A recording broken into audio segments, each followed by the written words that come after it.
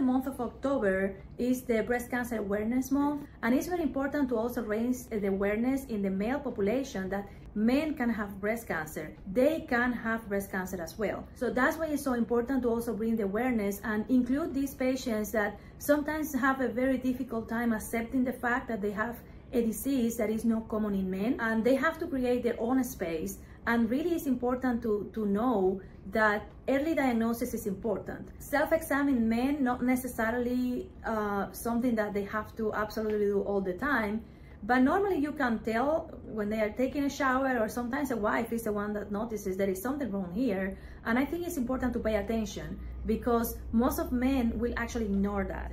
If there is an extensive family history, then they can have a mutation that will predispose not only to breast, but other cancers like prostate, pancreas. I have many patients that said, oh yeah, they don't even mention the paternal family history, thinking that they cannot have a gene coming from the paternal side of the family because breast cancer is only women. And actually, um, sometimes that's the case. The father is the one that carries the mutation, and, and even if they don't have any cancer, and that's important to, to really also know because the earliest we identify the disease, better we can treat and more chances we will have to cure it.